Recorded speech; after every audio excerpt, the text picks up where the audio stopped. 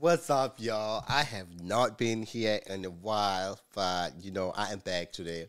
And you know, it's been a lot that's been going on. I'm not gonna lie, I always felt like I should just kind of stay away from the drama.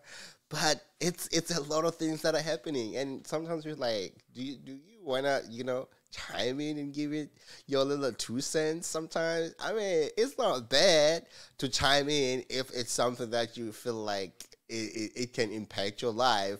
But let me tell you guys, it's a lot of things that are going on. Listen, what do you guys think about you know, what do you guys think about this this there's a trend that's going on right now that um the you know the short five seven five six African American, mostly, mostly African American uh, uh, guys, they are actually going overseas to Turkey to get their tibia surgery to elongate their their their, their tibia, and then you want to get this surgery that might get yourself amputated it happens. It happens. This is something that we. This is the the what we live in. You know, listen.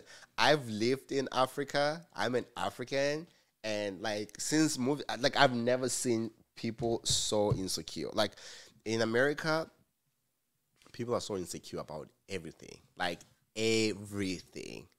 People are insecure about how they look.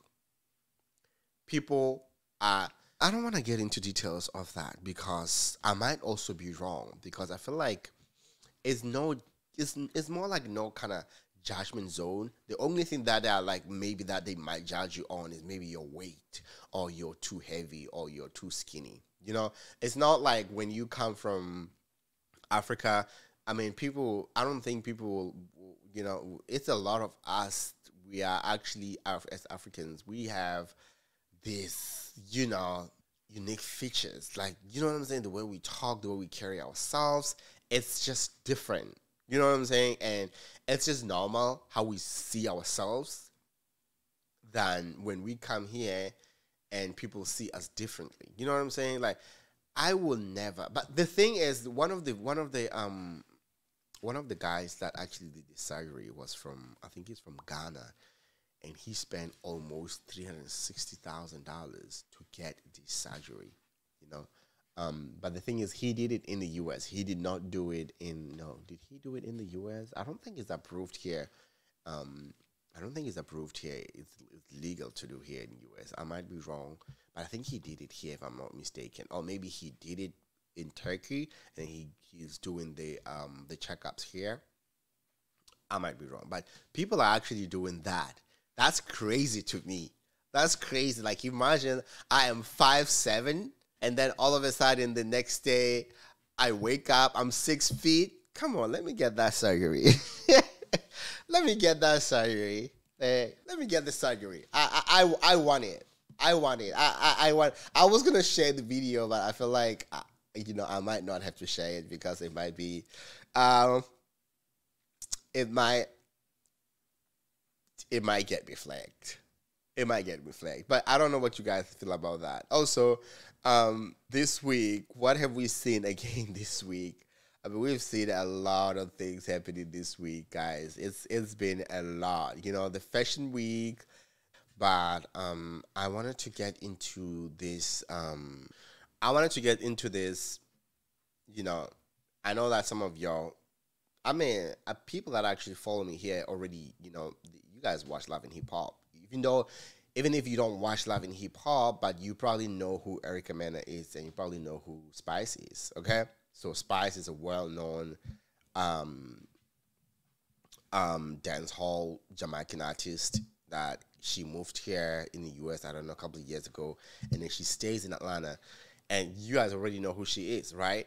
And then you know who Erica Mena is. I mean, Erica Mena, like you know who she is. She dated Bow Wow. She dated a lot of people. She's been under a lot, a lot, a lot of fire this week. So the recent episode of Love and Hip Hop, the one before this, um, the one before this, Erica Mena had a little bit of a dis- um, a little bit of argument with this argument, I would say, with uh, Spice, you know, and th- and and to be honest, this actually started with Safaree. You know, I don't understand why these two black women are tearing each other because of Safaree. When you think about it, you know, I'm saying someone might say, "Why are you saying two black women?" Okay, well, most of Dominican they don't feel like that. Most of Dominican people don't feel like they are black, even though they are black. I mean, when we look at them, we look at them as black people, but they don't want to be categorized like that. They don't want to be called black. They don't want to be called by the race. You know, they want to like they then that's how they are. I mean, it is what it is if that's what they want. But Erica Mena, even though she is Dominican and Puerto Rican, she prefers she is Dominican. She's black and Dominican, and she has always called herself black and Dominican. So I don't know. Maybe it's something that we as the people we have to maybe get used to it and know that this is you know we gotta we gotta roll with it. But when you think about this situation that happened a couple of weeks ago with her and Spice, I was confused. Like I, I was really confused. And the only thing that was actually getting me confused was okay, let me put the Puerto Rican, let me put the Puerto Rican and the Costa Rican thing aside. Okay. When you look at Erica Mena, what do you see? If you don't know that she is Puerto Rican, you might think that she's probably mixed black and white. Okay. And of course, she is mixed because she has black sisters that are definitely darker than her. She has black children. But here's the thing people don't understand that it's a lot of people that are actually racist that would play that racial card thing. And then they would always say, Well, I have a black friend, or my children are black. But that does not exempt you from being racist. You can be, you can have black friends, you can have black family members, but it does not erase the fact that you are racist. When you are racist, it's something that roots within your heart. You know what I'm saying? It's something that you probably have to work on yourself. And it's okay as long as you work on yourself. You know, with her, it was just kind of confusing because she doesn't take full responsibility. At first, she kind of like takes responsibility because I was looking at the um the recent um the recent episode that just played last week, you know, she was being very remorseful. She apologized publicly about that. She felt horrible. But then again, she went and met with Yandy. So you go and meet up with Yandy, and then when Yandy tries to talk to you about this thing, you're gonna tell Yandy that you know if anybody comes for your child, you will do whatever it takes to break their soul. Like you will do whatever it takes. You said you will do it again, and Yandy asked you, like, so what do you mean? Do you mean that you will do it again? You do you understand that you are, you know, you are disrespecting any person that's of an African descendant? And he's like, listen, she's sticking to what she's saying. She said what she said. She meant what she said, and it is up to that. I mean, you could see she's having a good life. She's having a good life. Even though she got cancelled, she got fired from the, the show that she was just shooting in DC. She just got fired from Love and Hip Hop as well. A couple of shows. She lost a couple of deals from from other from other uh, networks. However, you know, she's still pushing. She's still pushing. She's still making money, but she's she's not apologizing for calling uh, Spice that. But here's what the other people are saying a lot of black community they're actually behind her a lot of black community that's supporting her because they realize that spice is unhinged this season like this whole live in hip hop this whole I don't know how many episodes they've played so far. Spice is unhinged. She's perceived as the most bullying, the bully one. It's like, I mean, I, I agree. I'm not gonna lie. I, I kind of agree with them at some point. I feel like she's just doing too much. She's doing too much. I don't know.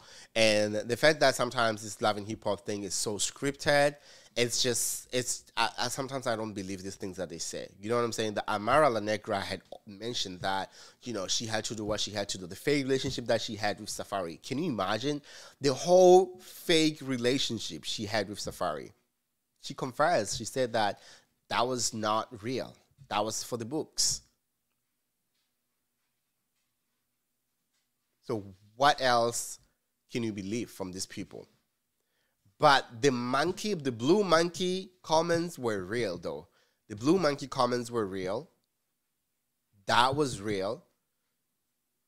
And a lot of people were mad at Mona for not firing um for not firing her right there. But Mona said that she's not involved with Love and Hip Hop no more. You know, even though that's her franchise, but she's not always. She does not even know what's going on. She's she watches Live and Hip Hop hip hop on Monday or Tuesday with everybody.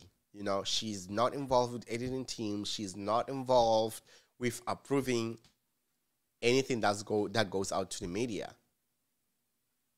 Even though she holds the brand, like she cannot co-sign everything that they do. We understand, but how do you guys feel about the whole uh, Spice thing? Like, I don't know. I don't. I feel like Spice is just too much, to be honest. Spice is Spice is a lot, and um, I'm not saying that Erica was right for calling Spice a monkey.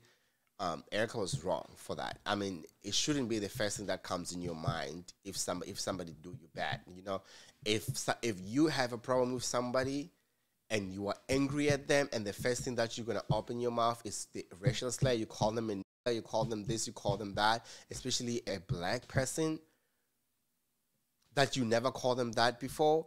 It's just like that's that's that's the real you. That's the it shouldn't be the first thing that comes in your mind if you're trying to fight someone. It shouldn't be. Because if it is, that means this is the kind of person that you are. And if this is the kind of person that you choose to be, that's fine. But you have to deal with the consequences. It is what it is. But I felt I felt like it was hilarious, but Spice is too much. She's doing too much. I mean, you cannot mention Erica's kids when you already know Erica is very defensive. Everybody like and don't do uh, you do that with my kids. I would probably act the same way, but I'm not gonna. It's just insane. That's not gonna be the first thing that comes in my mouth if I'm trying to fight you. No, because that's not the kind of person that I am. You know what I'm saying? But But Spice got another thing coming. You messed with the wrong one. Yeah, I, just wanted to talk about that as well because you know I felt like it was a lot. It was a lot going on. One thing that I also wanted to catch up with. I don't know what you guys are watching right now. Are you guys watching anything right now? Um, on Netflix. Are you guys watching anything? It's a couple of shows that are coming out from South Africa right now. They are. They just started. They're gonna no. I think this week they started shooting season three of Young Famous and African.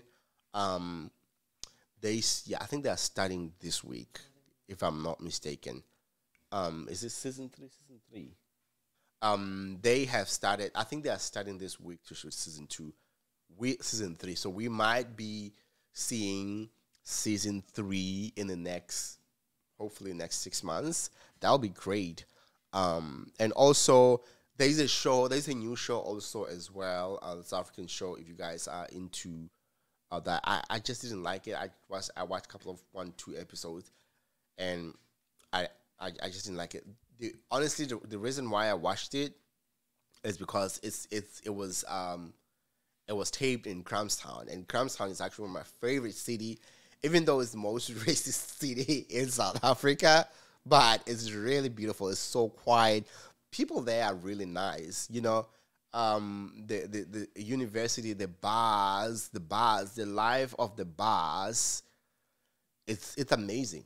It's beautiful there. You know, that's why that the scenery. That's the only thing that honestly that I'm watching. It's called Music Education. It's on Netflix right now. It just came out this. I might be wrong. I think it just came out this week.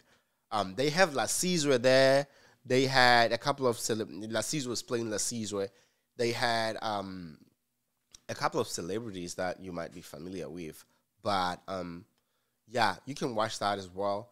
Um, I don't know what else is coming out in South Africa right now. Nothing really. Nothing major, right? I don't think nothing. I don't think there's really nothing going on right now that we should be aware of. You know what I'm saying? Yeah. So, yeah, I just wanted to come in here and you know and chime in. I have I haven't been here in a while. My podcast has been like really really uh quiet. Um so yeah. Um, hopefully next week. Hopefully next week I might I might be coming back again next week with another episode. Hopefully, if everything goes well, I might come back again with another episode. Uh, that's what I'm hoping for. If I if I'm not feeling sick because I'm sick as a dog right now, even though I'm here, I tell you I'm sick as a dog right now. You won't believe it. But be cool. I'll go vote and also happy independence to Botswana. Botswana is celebrating the independence this week, and my country too, Lesotho, is celebrating the independence as well. Um, so, wait, Lesotho's independence? It's, it's embarrassing that I don't know. It's, it's October. It's October. October. Lesotho Independence Day. It's in October. It's in October 4, yes. October 4. That's next week. It's on October 4. Um, October 4. And then Botswana's independence is today. Yes. Botswana's independence is today, and Lesotho's independence is in four is in four days, October 4th. Okay. Happy Independence, Botswana. Um, yeah, that's that's pretty much what I wanted to come in and chime in about. Make sure you follow the podcast and also you um